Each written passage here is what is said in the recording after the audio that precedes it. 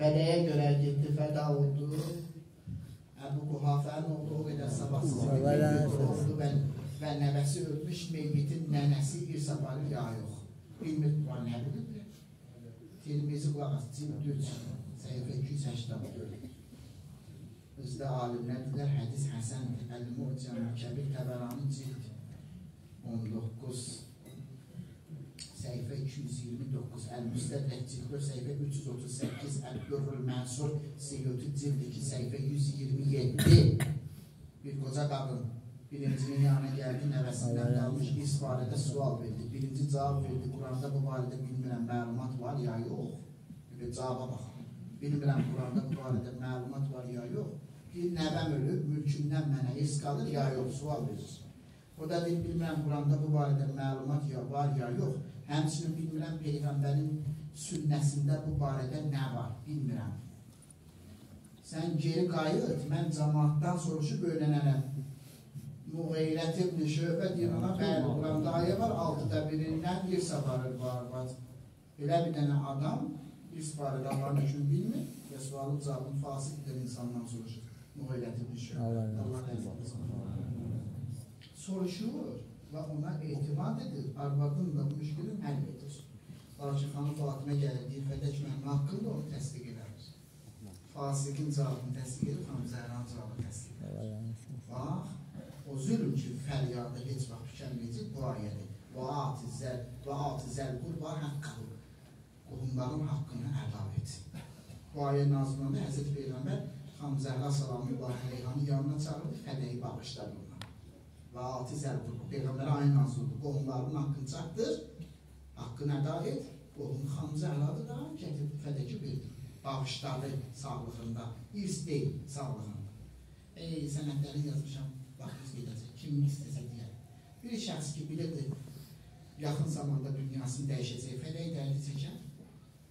Fədəyi tələb etməkdə məqsədi nə idi möminlər? Ayıtmaq istəyir, ey cəmaat, Peyğəmbərin qızın haqqını tapdırlar, görsə nə edəcək? Aylın ay cəmaatlar oğrudur, fədəyin, fədəyin dərdi bax buydu, bunu, buna görə tələb edir. Ay cəmaat, baxın oğrudur bunlar. Yoruldunuz, ayıtmaq istəyirdi ki, cahillər xilafəti qəsb edir. Bundan Allah rəhmət eləsin. elə bir xilafətə gəldi ki, heç təyəmmümün hökmünü də verir. Allah rəhmət eləsin.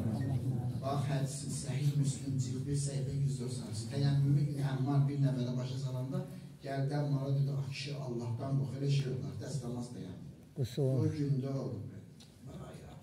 Aşınır.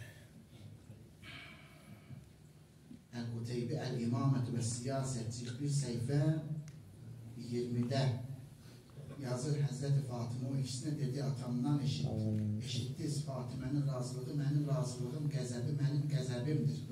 Dedilər bəli eşitmişdik. Dedi and olsun Allah atamla görüşənə qədər sizinlə bir kəlmə danışmayacağam.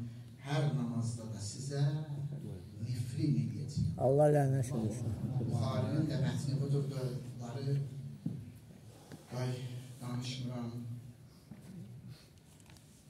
Əli İslam buyururdu, Peyğəmbərin dağı belini sındırdı. Sənin dağın rüknünü sındırdı. Sənə sökənmişdim. Sənə arxalanmışdım. Ya Resulallah, vəh, vəh fihəs sual. Ya Resulallah, soruş özün qızından. Ne oldu, nə, nə baş verdi, nə elədilər? Qəbrə qoyanda deyib bunlar. Əli əleyhissalam. İmam Sadiq əleyhissalam buyurur, bir dəfə də Əli əleyhissalamın yanında demədi, əlim ağrıyır, sinəm ağrıyır, qabıqlarım ağrıyır, demədi, də demədi. Bir dəfə dilinə gətirsə kifayət Əli əleyhissalam xəcalətindən ölsün. Xəcalətindən ölər əmirəl müminin, utanan əmirəl müminin. Bir dəfə demədi, əlim ağrıyır, bir dəfə demədi, sinəm ağrıyır. Əleyhisselam ağlayır, o işləyən əli ilə, sınan əli ilə yox. Əleyhisselam ağlayır, yaş döküldü yanağa, yanaqdan saqqala, saqqaldan dökülür yerə. O əl xanım Zəhranın salamat əli qaldırdı, başladı, tutdu saqqalın altına. Yaşı töküldü xanım Zəhranın ovucunun içinə. Yığdı, sürtdü sinəsinə. Zəhra, dedi atamdan eşitmişəm. Həmzə öləndə bunu belə eləmişdi. Atamdan eşitmişəm. Məzlumun göz yaşı şəfaatdır. Bizim cürəm sinəmin biraz ağrısı keçsin toxluyasın. Bir dəfə demədi ya, qabırqalarım ağrıyır. Ay mömin, ay şiyə. Diyen olsaydı, diyerdi beni gece kusun be. Diyen olsaydı, bunu da bırakma. Diyen olsaydı, diyerdi paltar üstünden bana kusun be. Görme benim bedenimi. Görme benim kapkar olmuş küreğimi. Görme benim bilekten üzülen elimi.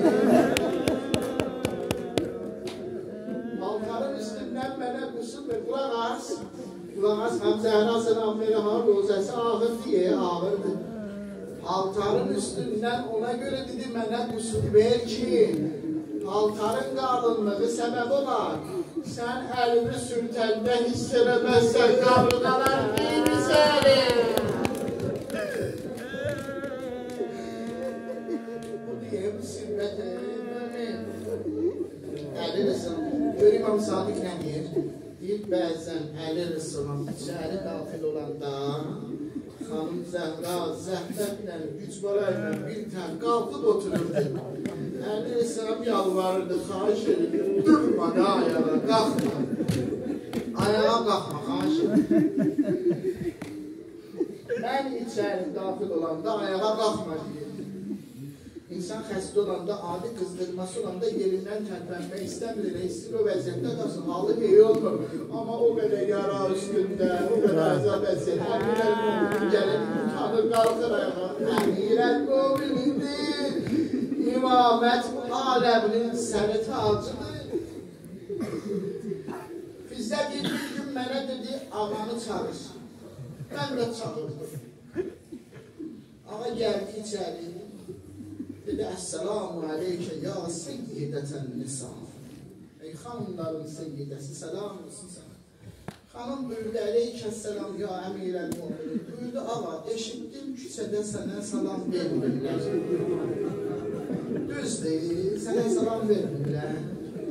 İmam buyurdu Zəhracan, sən soruşdun deyə deyirəm.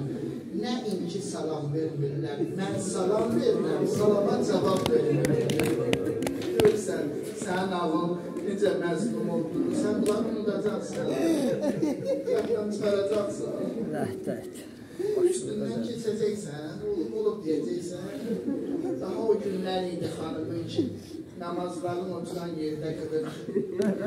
O günlər idi ki, Allahu Ekber deyəndə bir dənə əli qalxırdı. O günlər idi ki, dayı qulub tutanda bir əli qalxırdı, bir əli qaldırırdı.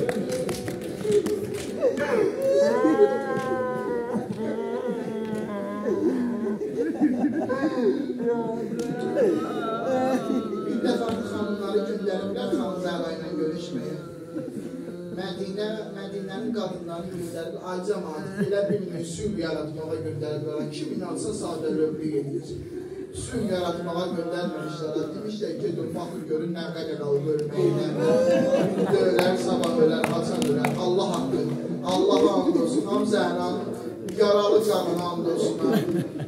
Məlumat əldə etmək üçün göndərmişdilər. Gedib görün, ölür ya ölmür. Kimsə fikirləşsə ki, onlar peşman olublar, xanıma, bax, sadəlövlük eləyərsən az, əgər fikirləşsin ki, peşman oldular, göndərdilər. Xanım Zəhra girdilər içəri, xanım Zəhra soruşdular, necəsən, halın necədir? Dedi, özünüz görürsünüz, Ətim sümüyümə yapışır. Özünüz görürsünüz, necəsən soruşursunuz. Ondan sonra bir söz dedi, dedi, sirtükən xəyal. Sirtükən xəyal, yəni kölgəyə dönmüşəm. Kölgə kimi